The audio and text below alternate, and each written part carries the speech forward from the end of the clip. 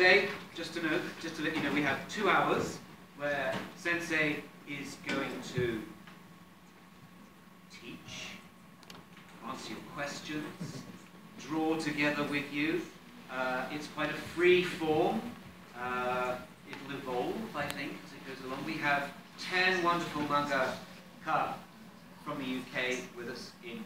the front, and we have you at the back as well. Thank you very much for coming to, to see what's happens. I will leave it as well to Bethan will help you. She's uh, our interpreter for the day. Please, if you have any questions, you can go through Bethan. I will leave it to you, Sensei, uh, how to do it. Thank you very much indeed. We very much appreciate it. A very valuable two hours. Thank you very much. Thank you. えー、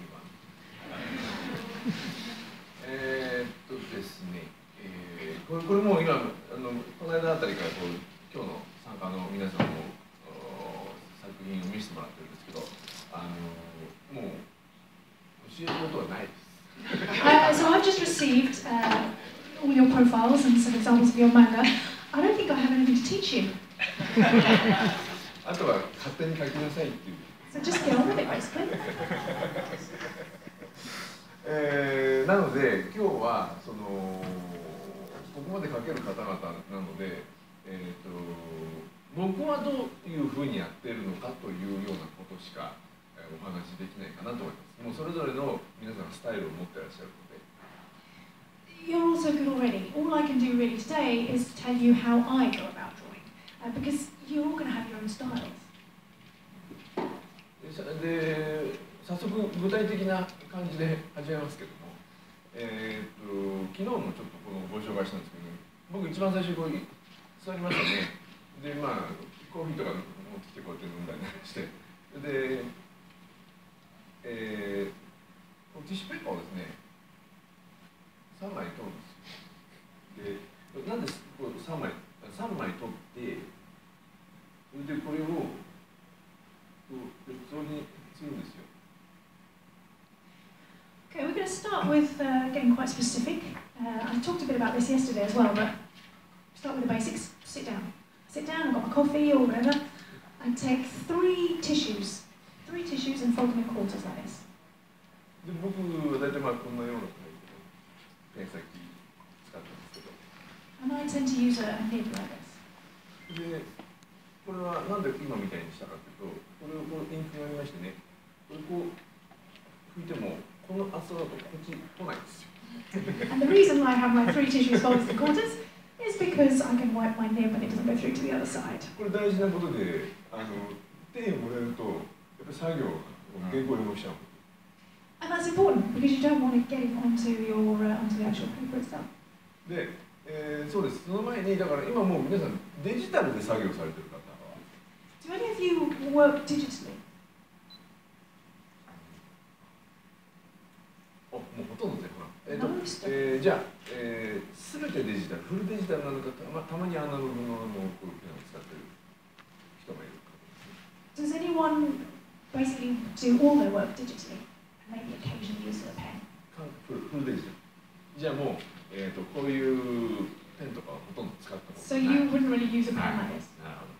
えー、とそうです。僕は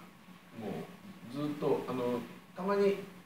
デジタルのものも使えるように今は少しずつ流してますけどやはり、えー微妙なタッチが出るのはペンの方がいいと思ってるのですね。それであの何がいいかというとこのペンと紙が擦れる感じ。このペン。あのか紙とペンというものが擦れるその感触が好きなのかもしれない I occasionally uh, do some digital work. I'm trying to get used to it, but I still prefer using a, a pen just for the sensation, the sensitivity. I think it's the friction between the pen and the paper that, uh, that I enjoy that, that feeling. あの先日も上のおフロアでガラスにライブドローイングの方が来てこう書いたんですけども I did some live drawing upstairs the other day on glass. ガラスとマーカーだとやっぱり僕にとっては滑りすぎる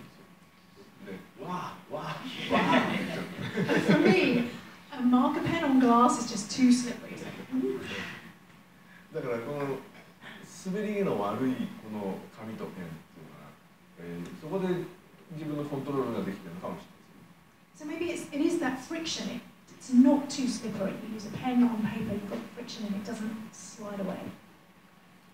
でですね、えー、じゃ一番最初、僕が僕はほとんどあの漫画のアシスタントいう経験はほとんどないんですけど、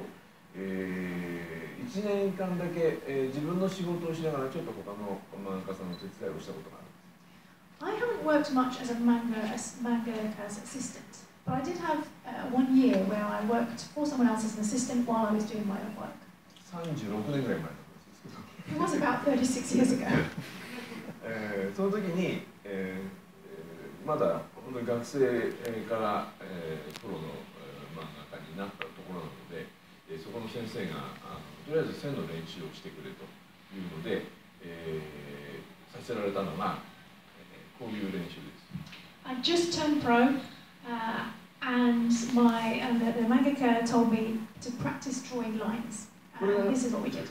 あのこれがもうデジタルでやられてる方からすると信じられない作業だと思うんですけど、Uh, and those of you who work digitally are going to find this uh, ridiculous.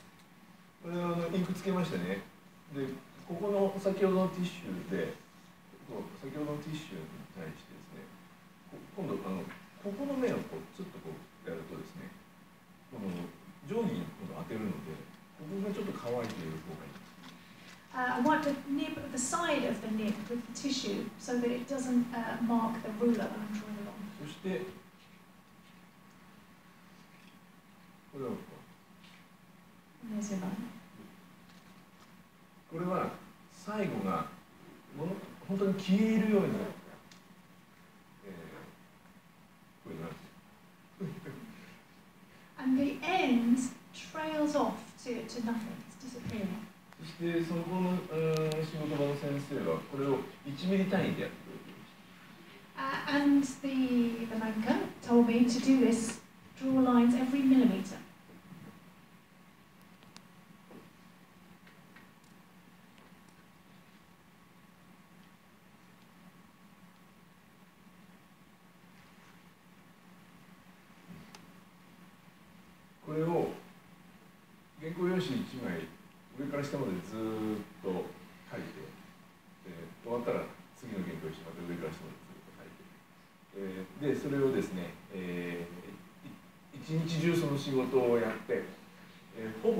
週間ぐらいずっとその作業でした And he had me do that to cover the whole of a sheet of paper. And once I finished that sheet, another sheet of paper. And I spent about a week drawing lines uh, all day, every day.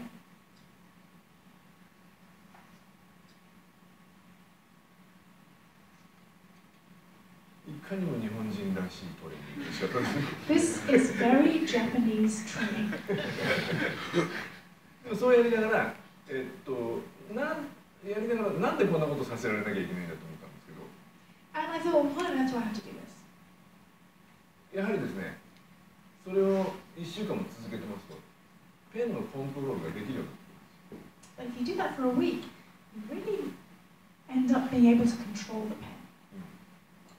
えー試しにここに来て今の Do you want to come and have a go drawing these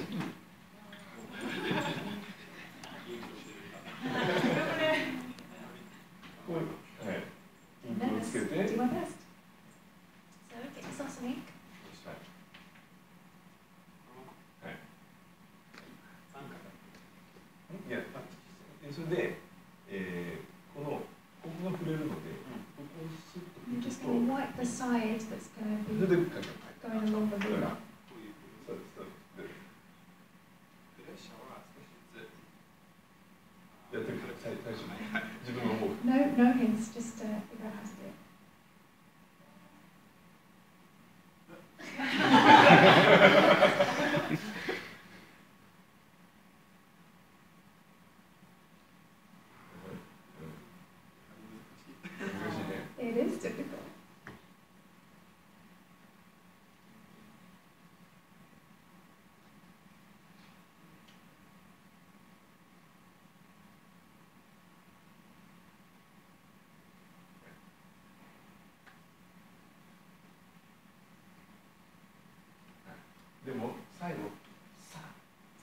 sure you trail it off again.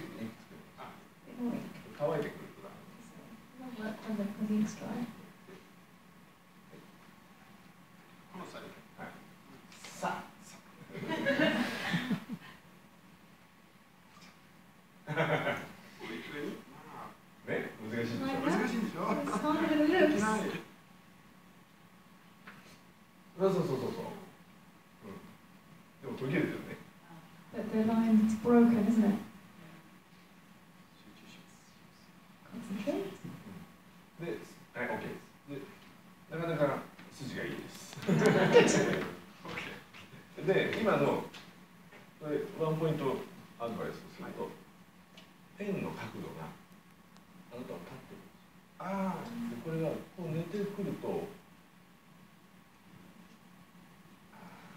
I could give you one piece of advice, the pen, when you're using it, is very vertical.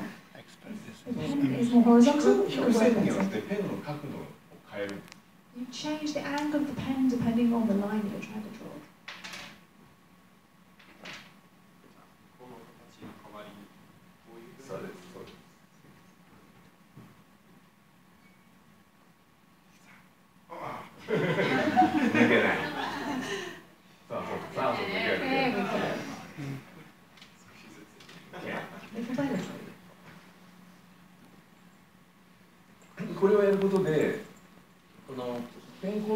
そして、えー、と引く線によってどこを握るかも変わるんですね、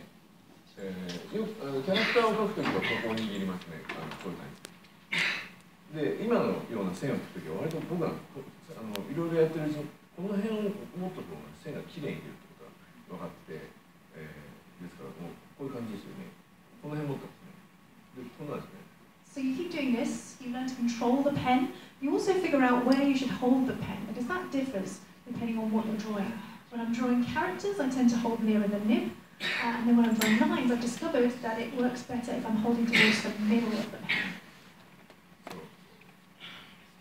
でこれずっと練習させられましてで次はですね次に、えーえーやるのは今度定規を使わないやり方、えー、日本ではフリーハンドです So I had to practice that for a long time, and then we moved on to doing it without the ruler, uh, what we call freehand. でこれも最初は僕こういうふうに持ってたんですけどフリーハンドでこういう線引く時には割とこの辺を僕持ってもらえるでこれで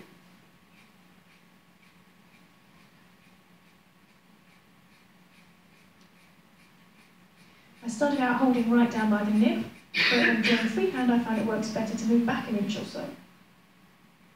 これをなるべく均等に。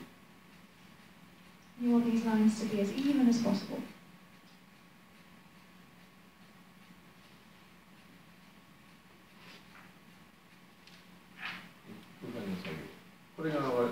均等にできるように。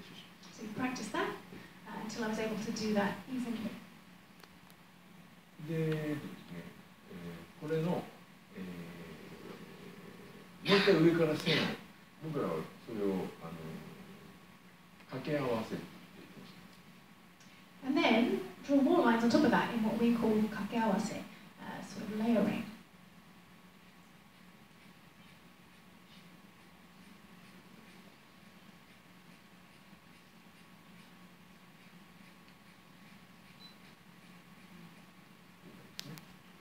これが均等ならば均等なほど、えー、それを掛け合わせるとえーそこにモアレのような模様がファーッと出てくるのが一番正しい掛け合わせ And the more even your lines are, the more even the pattern that appears will be. That's what you're after. こういうテクニックを身につけていると何かそうですね例えば「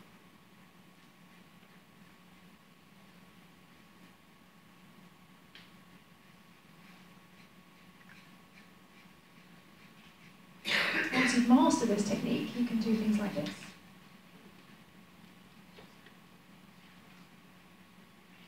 例えばこう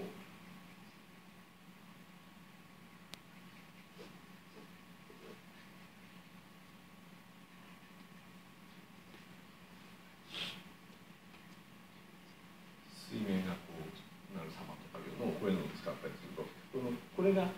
ここあんまり汚いとシャープに見えなくなっちゃ You can use it for things like the surface of water. Uh, and as you can see, it works a lot better if your lines are nice and even. う。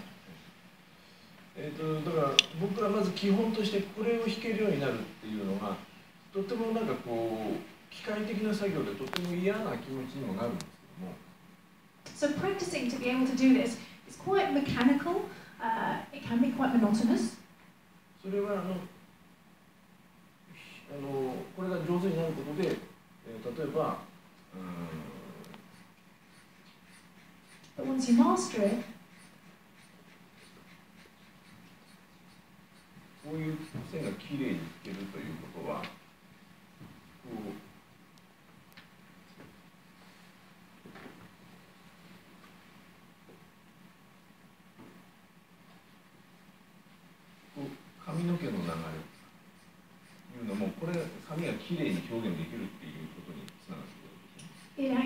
helps with things like drawing hair. You can draw beautiful uh, flowing hair with these kinds of even lines. でやったり僕の場合はこういうふうにやったところにここにシャドウを入れますけどこれもこうきれいに入る Uh, and it also helps, in my case, with drawing shadows like this. っていうことに全てつながっていくのでなこの2つのことをうーできるようになるっていうのはと ても重要で、えー昨日ちょっとそれをあのあれしたんでえーと It's all connected, uh, and it's really important to master these two types 先 of lines. 彼に練習してもらったことっていうのの発展系で、えー、ここにこういうよくある画鋲がある Moving on from what you were practicing just now, uh, the next step on from that is this, which is you take a drawing pin それをこれセロテープでこの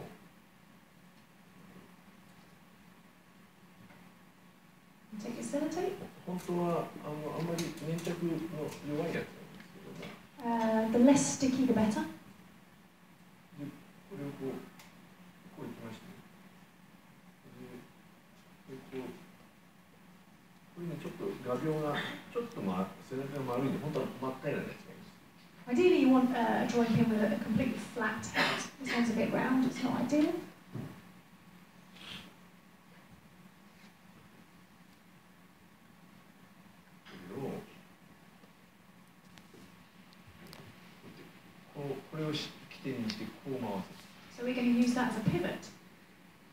So するとですね、先ほどちょっと練習した形の。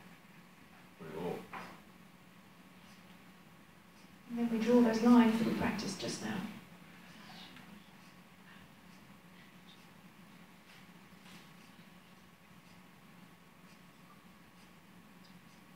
非常にここにあの画鋲に当ててればいいのでこれを描くのは非常にこれあの我々は、えスピード線とか集中線とか So you're just drawing the lines towards the drawing pin. Uh, we call these speed lines or converging lines. そしてここれをもう一個発展させるとですね Going one step further, ぐっとこう太めにいきます you can draw thicker lines. でそれを非常にくっつけるようになる So close that they're virtually joining onto each other.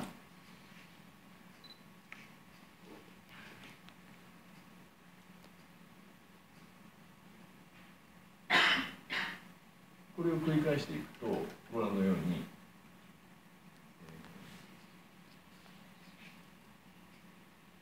And then, as you can see,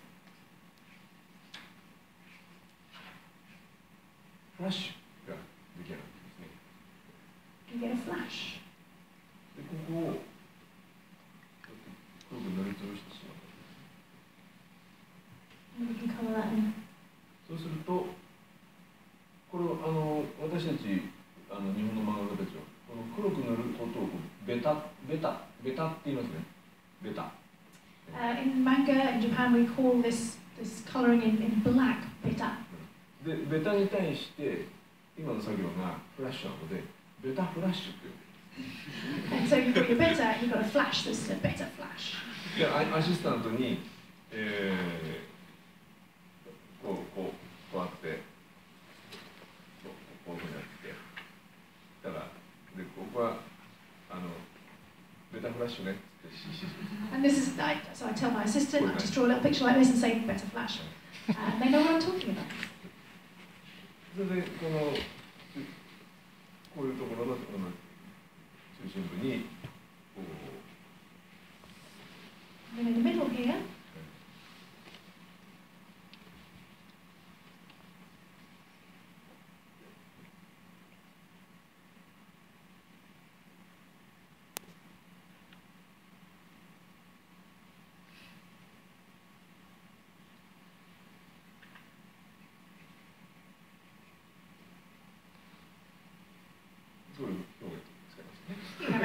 expression like that in the middle.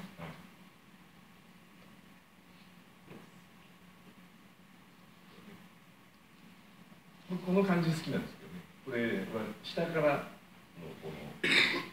下下からの等画法ですよね。このこういうふうにライティングが来るとこのあのミステリーとか、えー恐怖シーンのようなところとかね、えーなぜか下側からライトが当たるとこう怖くなりますよね。I quite, I quite like this effect. It's, it's good for sort of mystery or scary scenes, like you're being lit by a torch from below. For some reason, that, that lighting from below gives a kind of scary feel. I really like using that technique.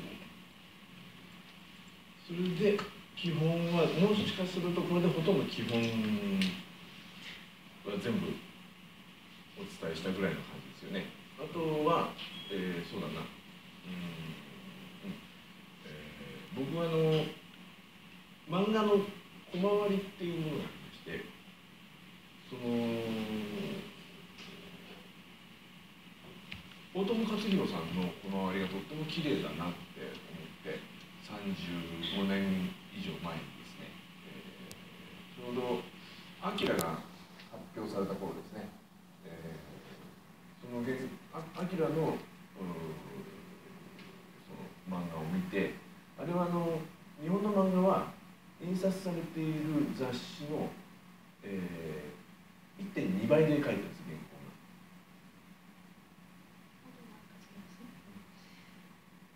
が。 That's pretty much all the basics. Um, so let's talk about the, the how you divide up the page uh, in manga. I really liked um, Otomo Katsuhiro's way of, of splitting up the page into frames. Um, I'm talking 35 plus years ago Uh, when Akira came out.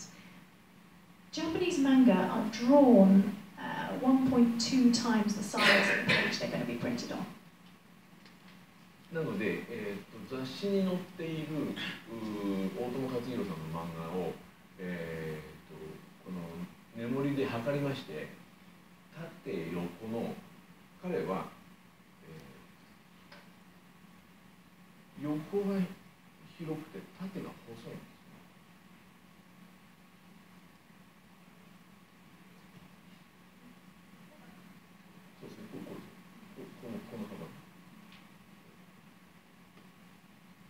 Uh, so you measure out how big the, the, the frames have to be to fit that page. Uh, and Otomo Katsuhiro's, they, they are long and short. Does that make sense? No. Long uh, horizontally, short vertically. で私がその雑誌に載ってるやつを測ってかける1.2倍にしたんです So in order to copy that, I measured the spaces between the frames that he had in the magazine, で分かったのが it by 1.2. 分かったのが彼はここが5ミリ Uh, and that's how I discovered that that space there is 5 millimeters. でこここっちの横の方がこれが3ミリ And that, that space there is 3 millimeters.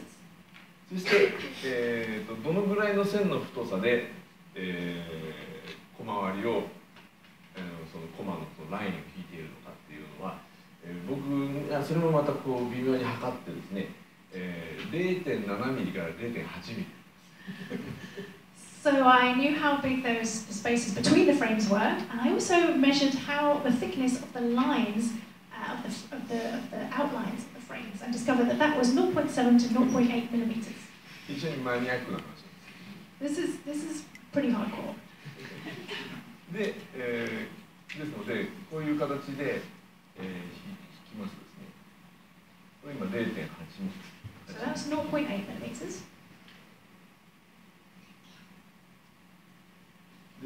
こう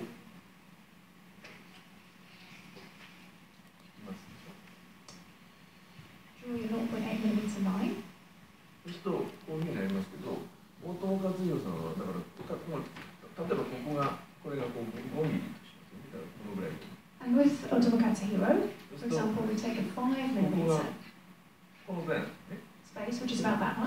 それに much. 対して横3ミリですね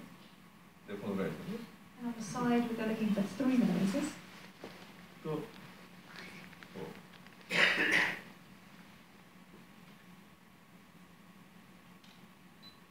うでも僕はそれで画面このコマ割りをとっても大友克洋さんの漫画が好きだったのでコマ割りをこの比率にしてみたら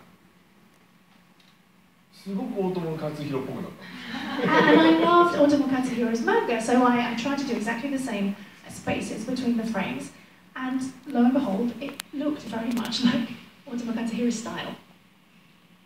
で、えー、となぜ横が広くて縦が細いのか But why? Uh, why has it got a thicker border at top and bottom and a narrow one on the sides? で漫画というのはこの基本的には必ず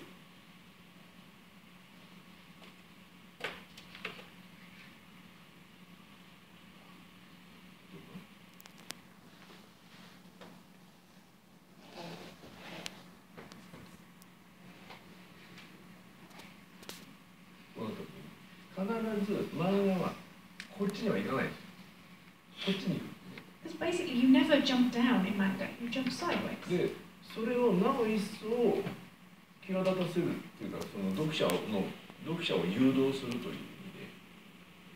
And this guides the reader in that direction. こう来たら必ずこっちに行くんだよっていうことのために彼はここを広くしてここを細くしたんだと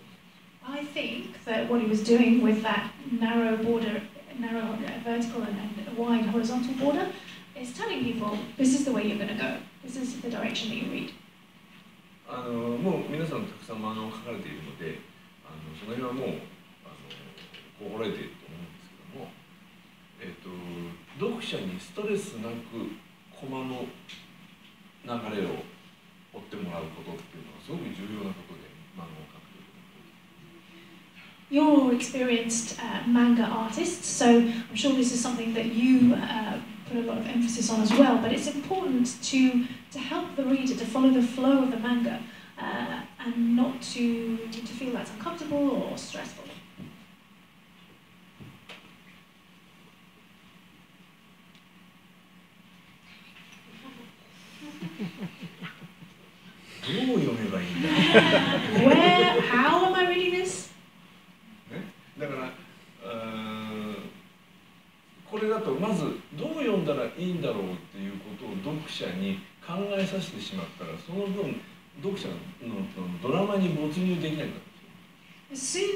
soon as you you're making the reader think about how they go about reading this page, it's harder for them to get into the story. なので、えー僕の場合は割とこういうスクエアな画面が多いんですけど So I use a, a lot of squares. ここなんかはね重要なんですよここずらすんですねこことここ And this is important. These offset. 例えば例えばここが For example, こうやって同じラインでつながってたとするとこ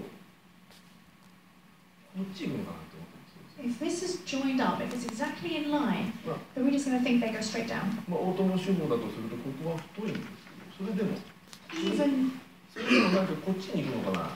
こっちに行くのかなどっちなんだろうって分かんなくなりますよね even if you've got that that automa style thick horizontal border, the reader is still going to get confused and think maybe I'm meant to be reading down or maybe I'm meant to be reading 読 across. 者が読みやすくするためにはここをずらしてここの段とここの段は別だよということをまず知らせてやるとこれも完全にノンストレスでこうこうこうこうこういうふうにいけるんですね So by slightly offsetting those bottom two squares, you're telling the reader that this is a separate section uh, to the one above, and it is, it is easy for them to, to flow through those different sections. そうですねもうこれがすごくあの重要であとはこれに対しての吹き出しの位置吹き出しの位置もこうあのどのぐらいノンストレスでいけるかっていうことですね So that is really, really important. The other thing that's important for making sure the reader can, can read this with the least amount of stress is the positioning of the speech bubbles. そうするとこれがストレスなくずっと続いていくと読者はもうこの中に没入していますからここのコマに来た時になったらこれをもうめくりたくてしょうがなく And if you get this right and you manage to lead the reader through the story uh, with the least amount of stress possible, then they will be immersed in the story. And when they get to the last frame, they will want to turn the page. ここでこんな風になって、まあ、同じようにこうなったとしてもこれだとえーっとどう何何がどう来たんだっけってもう一回ここに戻っちゃったりなんかしてんなんだこれはってなったらもうこれドラマに入って入り込めてませんから With this style, even if that last frame is exactly the same, the reader's going to get to there and not be quite sure what has gone on on that page. So they might, instead of turning the page, they might go back to the start of that page to try and figure out what's just happened. They're not immersed in the story. それでもやはり漫画っていうのは自由なものなんであまりスクエアに行っても面白くないだからそこの読者とのこのそこのこのぐらいついてくれるかっていうことの読者とのやり合いがあるわけですよね Having said that, manga, there's a lot of freedom in manga. You don't want it all completely square, that's boring. It's a kind of relationship, a communication with the reader where you're, you're kind of trying to find that, figure out how far you can take it and still have the reader follow you. ですのでこのページの後例えばこういく可能性があるんですよでもこう来たら今度こうこうこれはこれは読めますよね So the next page might look like this. But you can work out how to read that, right? こうこうこうこうこうですから、ね、これも読みやすいですよでもこのこれに対して次のページこれはやっぱり Uh, it's, it, you can figure out how to read it. You know the order it needs to be read in. But compared to the previous page, you have this, this huge, great frame, which is, which is oh, it's a, it's a surprise. ねあとねそういうふうに、えー、と読みやすさと、えー驚きをの間を その行ったり来たりそのあとは一番重要なのは読者が読みづらいって一瞬も思わせてる So you're in this, this constant back and forth between ease of reading and surprising the reader. You're going back and forth, but the most important thing is not to make them struggle, not to have for them for them not to have to struggle to read it. えーそして、えー、と私がその今電子配信の漫画に対して今はさすがに参加してないんですけども。I, I don't currently have any e-manga, えースマートフォンなどでこう見ているときに、えーこのサイこのサイズでスマートフォンを表現するんですね。But when you do have an e-manga and you're looking at it on your phone, this whole page is, is on one screen. もしくはあ iPad なんかでもこうこのこの大きさちょっと大きく思うんですねで Or, or if you're using an iPad, it's like this thing. で私たちがやってる漫画の醍醐味はこういうようなこういうような積み重ねがあった後に開いた時にこのサイズでドーン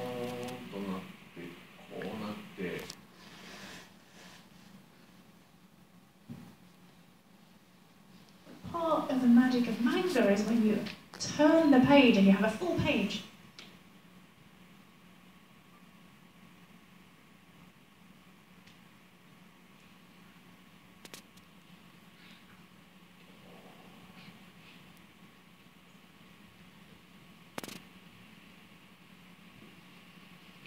This 見開きとして先ほどのこの流れでこう見ていった流れでドーンっていうサイズが変わるこれが漫画の最大のクライマックスカタルシスなんですね So you're going through your frames and you're going through your frames and then you turn the page and all of a sudden you've got a two-page spread and it's like bang. Uh, this is this is one of the, the most climactic things you can do in manga. だけどそれをスマートフォンや iPad などで見ているとこのサイズが変わらないまま今度、えー僕が体験したのではこれで見えちゃった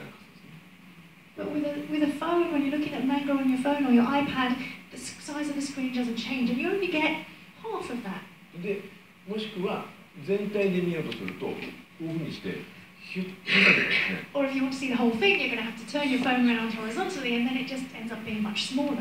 あれが僕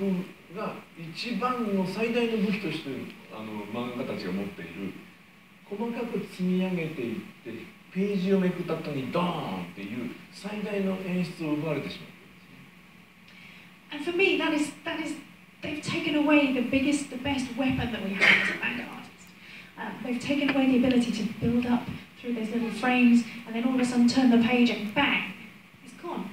なので、えー、ちょっとこの間も話したんですけど、え、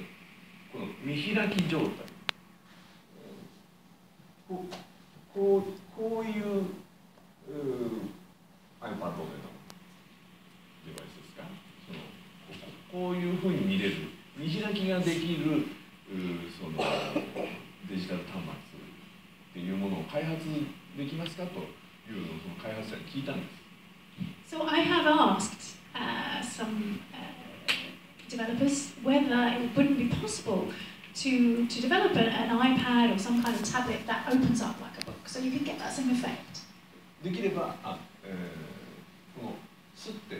こすると見開きで画面が変わる Uh, and if you, you just swipe, then you change both the pages at once, as though you are flipping a page over.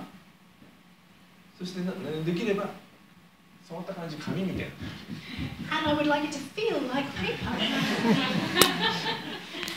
そしたらですねその人たちあ それもうできますって言うん.ですでだからこの感じで持ってで外で、えーカフェカフェとかでこれをもうこう出してスッてやれば見れちゃうっていうのが開発できる They said that it would be possible to develop something like that, that you can just you know, take to the cafe and open and swipe and get the whole full page experience. それで僕がその彼らに言ったのはそれは開発しないでくれ So I said, please don't. なぜかというとそれが出来上がったら本当にこの世界から本屋さんがなくなってしまうんです Because once they develop that, bookshops are going to disappear. 僕は本屋さんが大好きなのでおそらくその道具が発明されたらおそらく世界中から本屋さんがなくなると思うんですよ Because I love bookshops. Uh, and I think once they manage to develop a tablet that works in that way, there will be no bookshops left in the world. でもおそらくもうすぐできますよ But I think they're going to go for it, and I think we will s- be seeing something like that soon.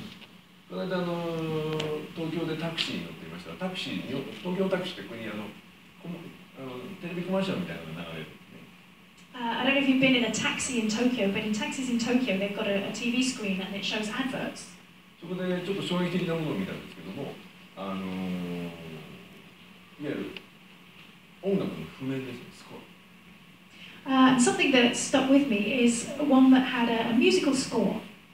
僕が言っていたのとまるで同じ、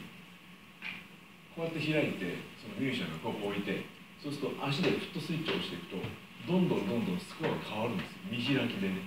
Uh, and it was the same thing as what I've just been describing. It was uh, an electronic musical score that the musician could open up, put on their music stand, read two pages of music, and then they had a foot switch that flipped to the next page. だからピアノの演奏の時とかに横にこう座っててこうやってる人いたんです So usually, you know, you watch a pianist that's got a page turner sitting よ。も beside うあ them. の人いらなくなったんです。 That person's gone, out of a job. 間もなく漫画も来ますよ、それ。Uh, and that is where manga is heading as well. それこそマガジンもえー小説も全てこれになった時にああ本屋さんはどうなるんだ what happens to the poor bookshops when all the man- magazines and all the novels turn into tablets? えーみんなで本屋さんを支えるために頑張って買おうね Everyone buy lots of books, support the bookshops. えー、とそういうことで、えー、と次にだから一番肝心なあのキャラクターの描き方私が思ってるキャラクターの描き方っていうのを、えーちょっとお話しします Okay, let's move on to uh, a really interesting bit characters. How do I draw characters? えー、とこれも漫画描いてる人たちの間では一番よく語られるんですが、えー漫画家はあの日本人は本当に右利きが多いので、えー This is uh, something you'll often hear from uh, mangakas. Uh, In Japan, most people are right-handed. なのでみんなこちら向き So all the characters end up facing this way. これはなぜこ右利きの人はこっち向きが得意なんだろ Why is that? Why, why is it easier to draw someone facing that way if you're right-handed? うもうこれは僕が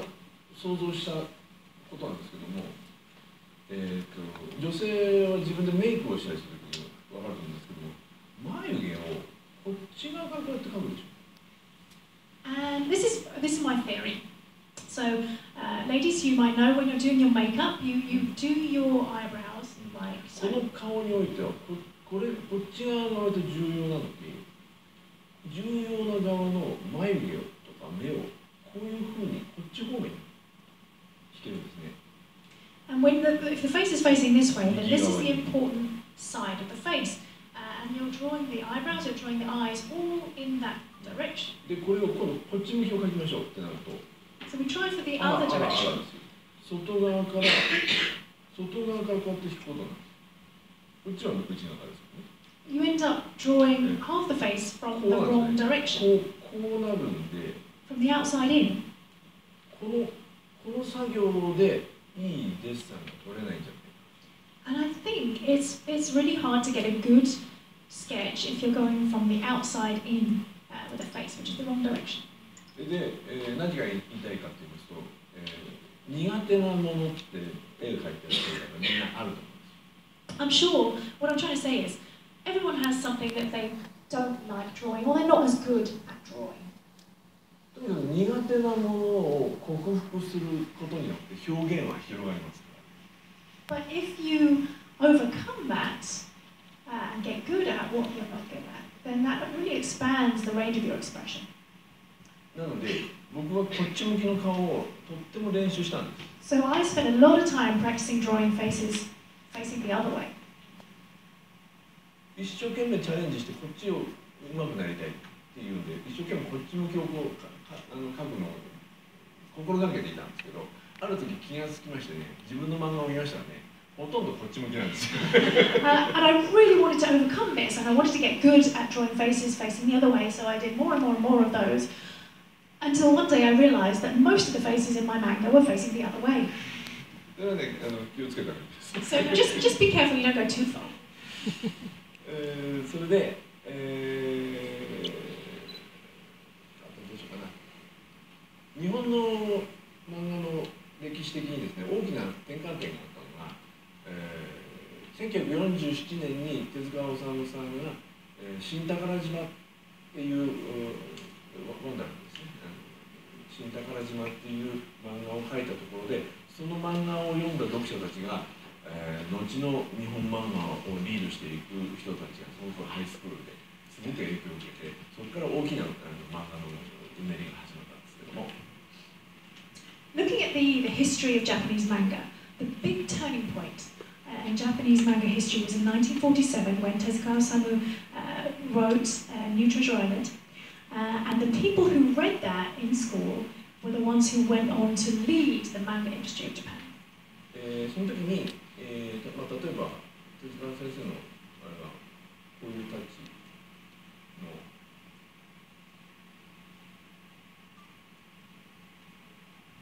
So you're talking Tezuka, you're think, talking things like this.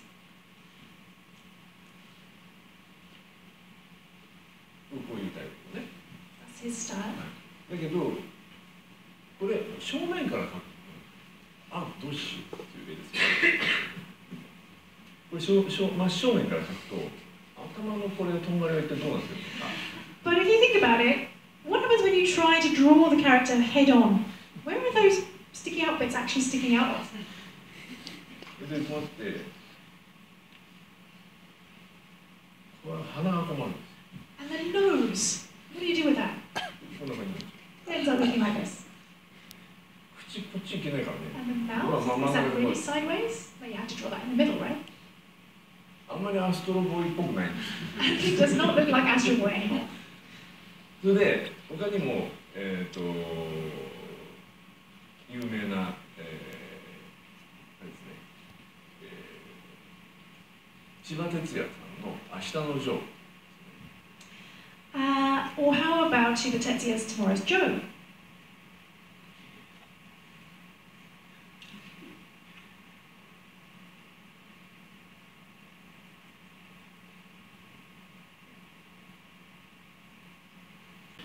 そう千葉哲也さんの漫画に正面顔はないんです Shiba Tetsuya's manga do not have any characters drawn head on. これはこの花導入なんだよ This nose is not to work. それが日本の漫画がずーっと直面していた問題だった And this was a problem in the Japanese manga world for a long time. でいわゆる劇画と呼ばれるうん人潮流がありましてそのムーブメントがあったんですけども劇画の人たちはた、まあ、例えばあのこうこうこういうあの、えーゴルゴ13みたいなゴルゴ13みたいなこういうの言うんですけどこういう人はこうこうこんな感じでこう描いてます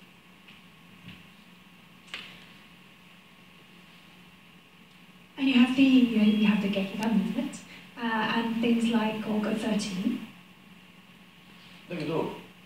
えーこれは劇画の人たちの手法で僕らは劇画というよりも漫画が描きたいんで。すね But Golgo 13 is, is Gekiga rather than manga. Uh, and we want to draw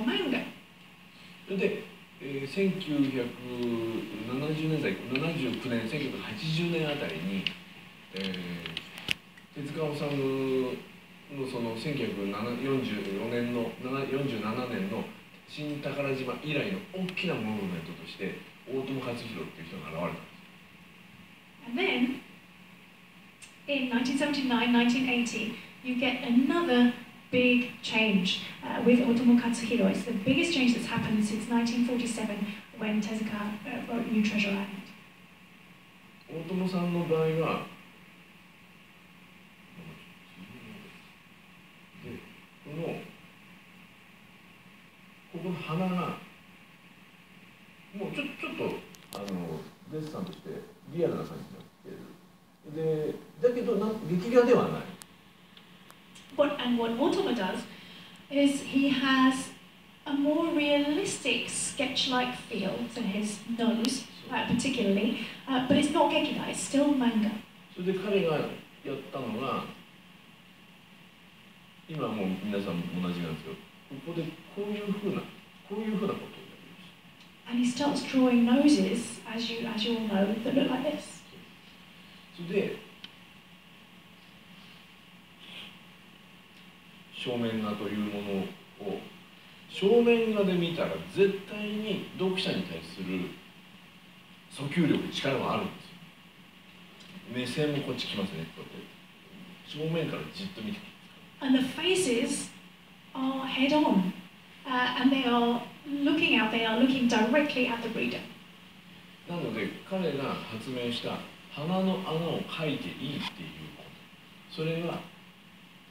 日本漫画においてはものすごい革命だ So his new development, his new invention, his decision to draw nostrils uh, on his manga characters is a revolution in the Japanese manga. でそれに対して困ったのが こういうかわいいかかわいい感じのキャラクターの少女漫画系の人たちが困ったんです女の子のキャラクターに鼻の穴描いていい So the problem then is when you have your shoujo manga, got cute little girl characters like this, and the mangaka is saying, we don't want our cute little girl characters to have nostrils. そこに果敢に挑戦したのは江口久志さん。Uh, and then along comes, 久志。and then along comes Eguchi Hisashi. 彼は可愛い女の子でありながら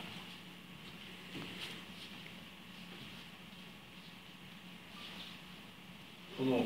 鼻の穴を描いた正面顔これを描かなければそういう大友さんあんまり可愛い子の顔を描いて江口久志さん可愛い子でありながら鼻の穴を描いてそれで大友克洋の表現のところまで持っていくっていうことにチャレンジするためについに女の子を正面顔で鼻の穴2つ描いたんです And what Eguchi does is takes Otomo's style, face on, nostrils, and applies that to cute girl characters. So he draws the cute girls head on with nostrils. それはあの僕もあの江口久志さんは親しくさせてもらってるんで一緒に食事した時とかその頃の思い出話でいやー鼻の穴2つ描くのはね大変だった Uh, and I'm friends with Eguchi-san, and we go out for dinner sometimes, and he'll sometimes uh, look back on that time and say, you you have no idea how hard it was just to draw two nostrils. そのように、えー、とまだまだ漫画というのは開発開拓していく部分たくさんある And I think there is still plenty of room uh, for, for manga to develop and to grow. えーですのでその自分が苦手と思っているようなアングルとかもチャレンジしてチャレンジしてそれが書けるようになるとかとにかくそういうことも全部含めて、えー自分の中から改革をしていくっていうことをずっとし続けるのがあの漫画を描くということなんじゃないかなと思うんですよ。So keep trying over and over to, to, to overcome those bits that you're not good at. Uh, and I think drawing manga is basically a series of these small revolutions with, with, uh, inside yourself. そして、えー、とまたちょっと今次の話になりますけども、Moving on, えー、と僕はあの8年間ぐらい大学のあの名古屋造形大という大学で、えー漫画の描き方を8年間ぐらい教えてたんですけども、えっ、といわゆるアート系の大学 uh, I spent eight years teaching how to draw manga at uh, Nagoya Art University. その、えー学生たちにまず言ってたのはですね、えーみんなその書き始めに丸を書いて首を書いて肩を書いて頭に顔のところに十字なんか書いてこうやって書いてないかっていうことを僕は言ったらまあみんなほとんどのあの学生たちがそうやって書いてる。Uh, and what I would do uh, at the beginning of the course is to ask the students, so when you draw your manga, do you do it like this? Draw a circle, draw a neck, draw the shoulders, and draw a cross on the face. Uh, and when I asked them, it turns out pretty much all of them would, would draw like this. もしかするとねこの書き方してると全部の人間がこれになっちゃうんですよ But all of the characters, if you're doing that, end up looking like that. えー例えば老人を描く、So if you're drawing an elderly person, for example, まあ、この丸を描いてて始めますけ start with a どこういう circle, ふうになって首なんかないんですよ they don't have a neck, このが老人 that's, that's an old person. 今若い子たちが描く年取った人たちのデッサンがみんな老人なのにこんな感じなんですよ And yet, if you ask a young artist today to draw an old, an old person, they'll end up looking like that one on the left. 老人なのにシャキンとし They're very straight and erect. ますおそらく全てのキャラクターの描き方がここから始まってるからなんじゃないかって僕は思います And I think it's because they, they basically start out drawing every character in this way. ですのでもうもう皆さんそういうのをもうやられてる方たくさんというあのいるかと思いますけども、え A lot of people work that way.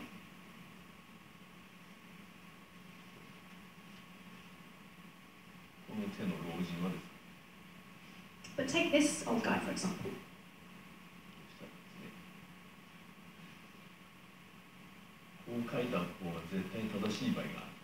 Sometimes this is how you want the old guy to look.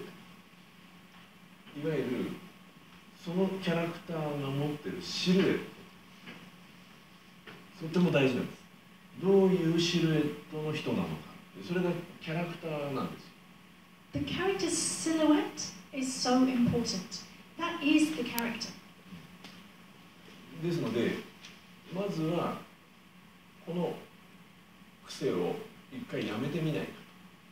So I encourage the students to, to try 丸書いて×書いて首書いて肩書いて and not draw like this. Stop. Just try stopping with the circle of the neck and the shoulders and the cross. そうすることによって、えー、と頭の中に浮かんでいるなんていうかなうー頭の中に浮かんでいるものをいいきなり書く Just go for it and draw what it is that you have in your head.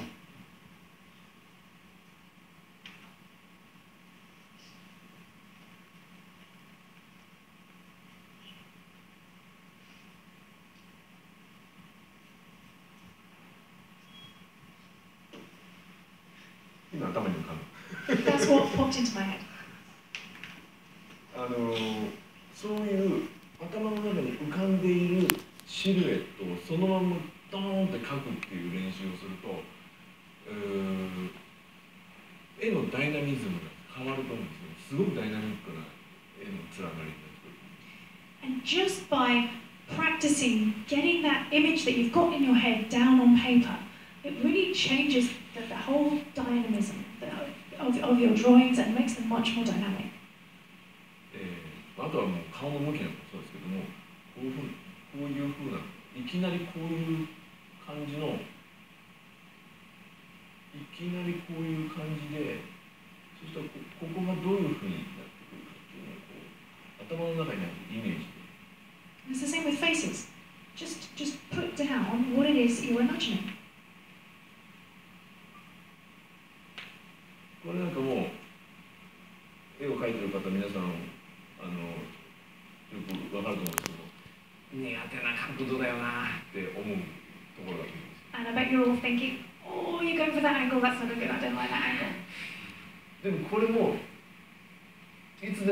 けるようにトレーニングしておくと頭の中にポーンと浮かんだ時に下からのアングルで捉えているっていうのが頭で浮かんだ時はいきなりバーンとこれが描ける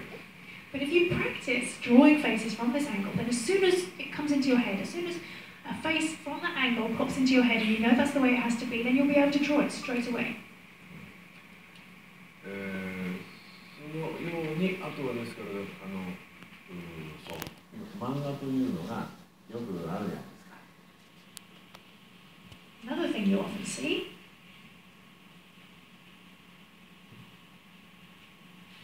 こういうふうに描くと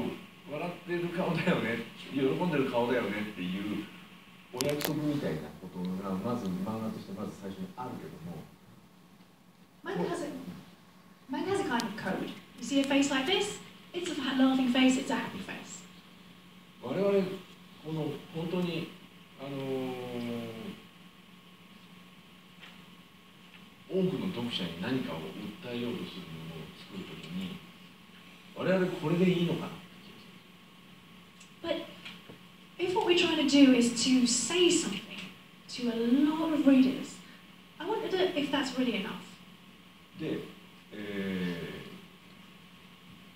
例えば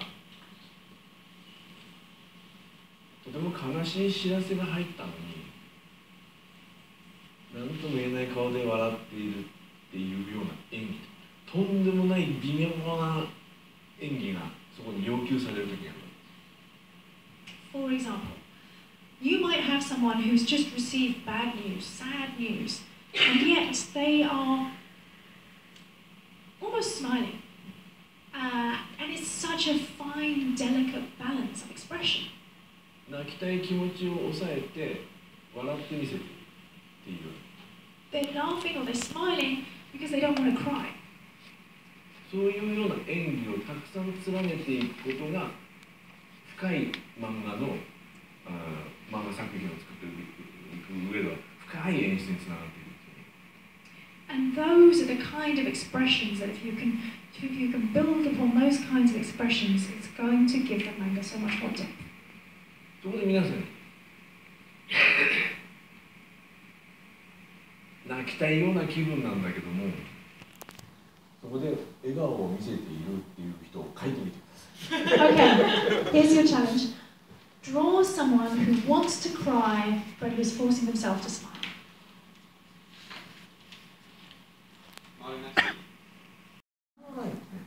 これをこうこういうふうに書くとこうなんですが What I've been thinking recently, complicated expressions often are shown using the eyes. このぐらい書くだけでこうなるんですよ And, and I've been experimenting recently just by changing the angle of that line at the bottom of the iris,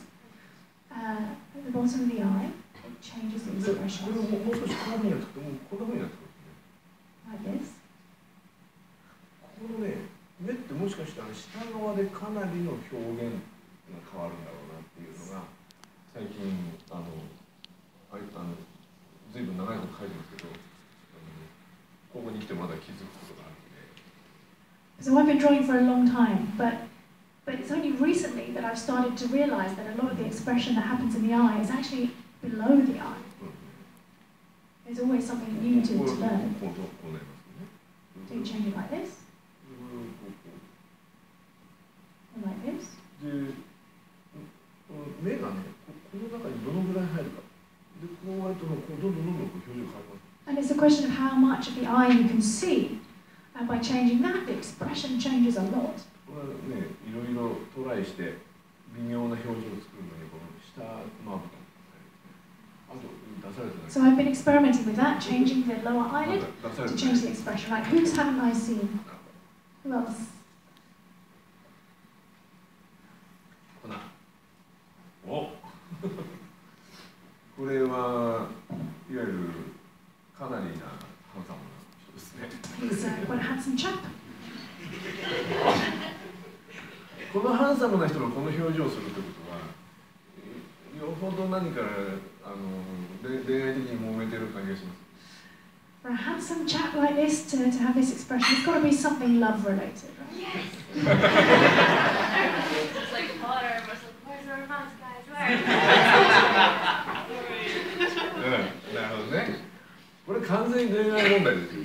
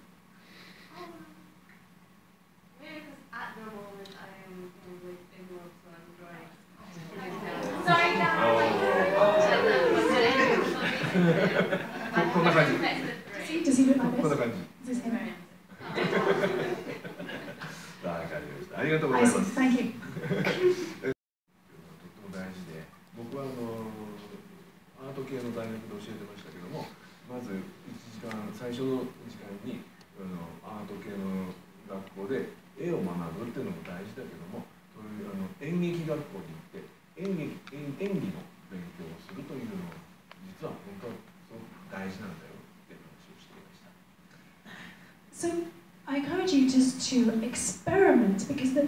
the tiniest difference in a line can completely change an expression. Um, and just, just try drawing uh, expressions that are outside of your usual range, your normal range, because it's, it's really a matter of millimeters that we're talking here. And once you've mastered that, it will bring so much more depth to your stories, to the drama, uh, and you can practice that. Uh, you can also practice that by paying attention to the actor's expression when you watch a film or when you're watching TV. Um, I always say in, in, when I'm teaching drawing that, of course, learning to draw is important, but it's also important to learn to act. 今その私の出したお題で自分がどのぐらい描けるのか分かりますか So I'm not sure how well this is going to go.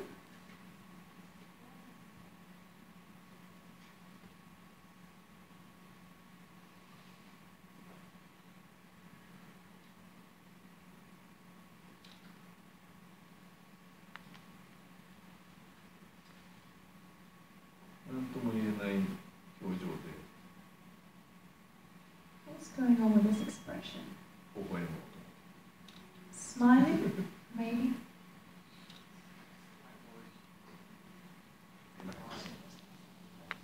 Uh, ということで大体僕が今自分が掴んでいる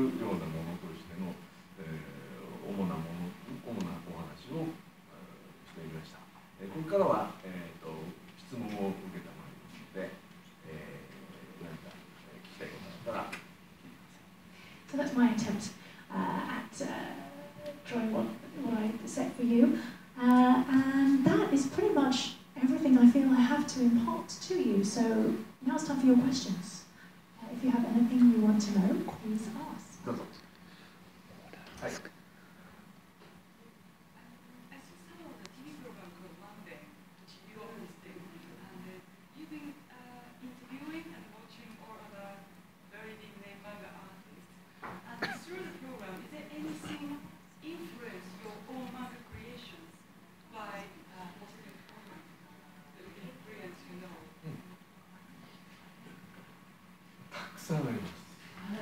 え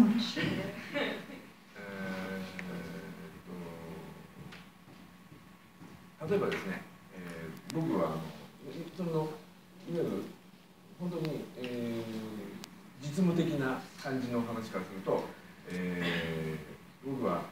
僕こうシャシャープペンシルを使って書いて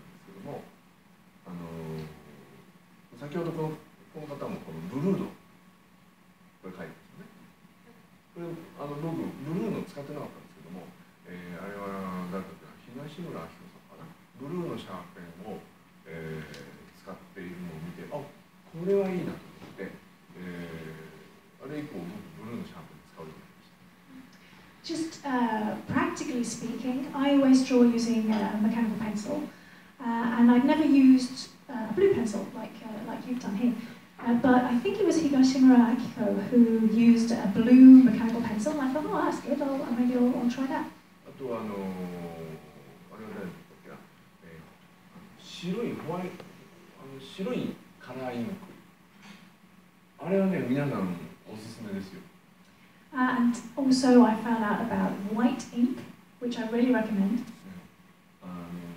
ドクター・マーティンの、えー白いインクがあのすごくあのペンにつけて細い線でホワイトが描けるんですねあれもまんべんでどどなたか使っててこれまたね不思議なんですけどまんべんで放送されましたらですねアマゾンがですねおすすめ商品としてブルーのペンシルとあの白いカラーインクをあのおすすめで勧めてきたんですよ僕に Uh, so, Dr. Martin, white colour ink. Uh, you can draw really thin white lines with it. Uh, it's great. And the funniest thing was when I, right after I'd seen it on Mum, or when- once we we uh, featured it on Mumben, uh, I got uh, an Amazon recommendation for blue pencils uh, and white ink. なんでわかるんだろうと思いましたね?あの画材画材を以前画材と漫画の本をアマゾンで何回か買ったのでこの人は漫画を何かやってる人なんだろうなっていう登録がされてたんですよ I, I guess I mean I bought books about manga and I book I bought some drawing materials on Amazon in the past, so that they I guess they, they knew that I was interested in manga. でなので、えー、とまんべんが放送されたらその3日後ぐらいに僕にそれをリコメンドしてくるんですよ。So about three days after it features on or after the, the program airs, Amazon starts recommending those books. そして、えー、まんべんの一番のあやってあの僕が今影響を受けていることがあのやはり自分で背景を全部書かれてらっしゃる漫画家さんがかなりいまして。で僕はずっと35年間の間大量生産をしなきゃいけなかったアシスタントを使って背景をアシスタントに書いてもらうということでずっと長年やってきたんですけども、えー今やっている最新作の「朝ドラ」っていう漫画はかなり自分で背景を書くようになりました。アシスタントの人数も減らして2人にしました今まで4人いたんですけど2人にしてでその2人削れた分を僕自分で背景を見て But the biggest the biggest thing that learned, or the biggest impact that, that Manban has had on me, is that I've learned that a lot of, or I discovered that a lot of mangakas draw their own backgrounds. Uh, and I've been working for 35 years, and I've always constantly had to produce a high volume of manga, and so I've had assistants uh, most of the time drawing the backgrounds. Uh, but my most recent manga, Asadora, uh, I've been drawing a lot of backgrounds myself, um, and I have fewer assistants. I, I normally have four, and for this I've only got two, and the rest in the backgrounds I've been drawing myself.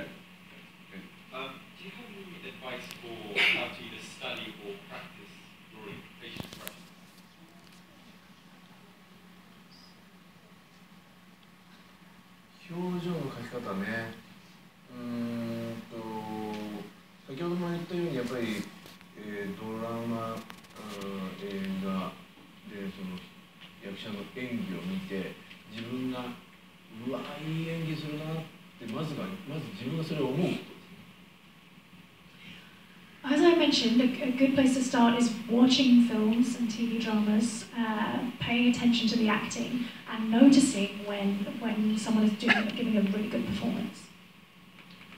でその役者の演技もそうなんですけど僕はたまによくあのドキュメンタリーですねドキュメンタリー本当のことをその体験したり喋ったりとかしている人の 顔に割と興味があって、やっぱりそこには演技でないもの。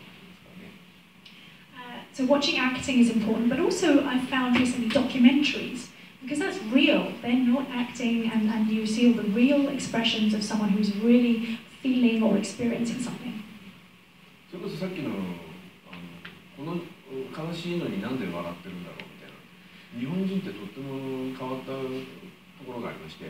の、あの、あの、あの、あ、あの、あの、あ、あの、あの東北の大震災の時とかも被害に遭ったあの被災した人たちにインタビューすると「いやそれ困っちゃって」って笑ってるんですよそれでなんで笑ってるんだろうってでもそれもものすごくリアルな演技 So we were talking about people who smile even though they're feeling sad, or they laugh even though they're feeling sad, and why is that? Um, but I remember uh, people after the uh, after the tsunami, the March 11th uh, tsunami uh, in Tohoku, being interviewed on TV and, and sort of laughing and saying, "Yeah, I'm at a bit of a loss now, really." Uh, it's very that that that is real. That's that's not acting. それをだから見てあの頭に入れてそのイメージを頭から今度ペンペンで出すその作業はうん本当に一日と欠かさず書き続ける So you watch, you remember, uh, and then you, you pull it out of your head and, and just put it down on paper. And that's something you just need to be doing every single day.